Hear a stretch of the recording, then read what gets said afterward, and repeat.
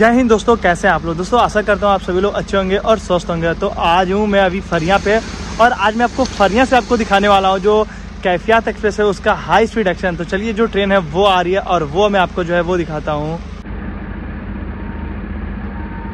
तो भाई, जो कैफियात एक्सप्रेस है ना, वो आ रही है बहुत ही हाई स्पीड एक्शन के साथ।